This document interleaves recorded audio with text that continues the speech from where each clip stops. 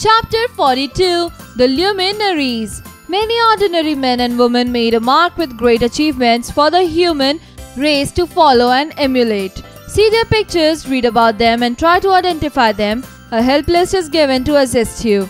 Let me answer. Who was the first Prime Minister of India? 1. This Greek teacher and philosopher was the founder of democracy in its true sense. He drank poison and sacrificed himself for his views.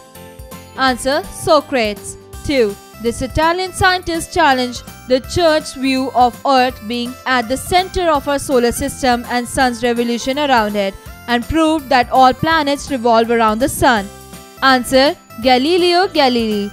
3. This master sculptor and painter sculpted the famed Pietà and painted ethereal giant frescoes in the Sistine Chapel of St.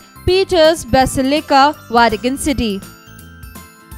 Michelangelo 4. This US president led to the country through its most troubled times during the Civil War and finally abolished slavery. His memorable speech at Gettysburg is still considered one of the finest examples of oratory. Abraham Lincoln 5. The celebrated novelist, story writer and champion of common people's rights was a friend of Mahatma Gandhi and Rabindranath Tagore. Leo Tolstoy 6. This Tibetan religious leader and political head has been the savior of the Tibetan people in exile and a messenger of peace and brotherhood.